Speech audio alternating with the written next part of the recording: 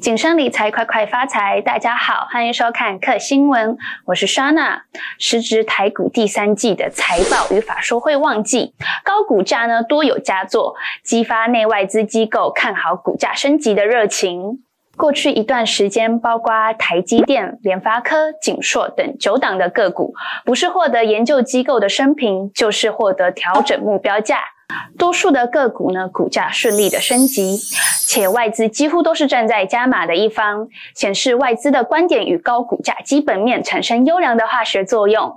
除了 ABF 族群展现强者恒强的姿态，及股价与研究机构预期相辅相成之外，触底反弹最坏时机已过，则是外资调升高价股财务预期的另一个核心思想。分享这则新闻给大家，喜欢我的影片记得按赞、订阅、加分享。客新闻，我们下次见，拜拜。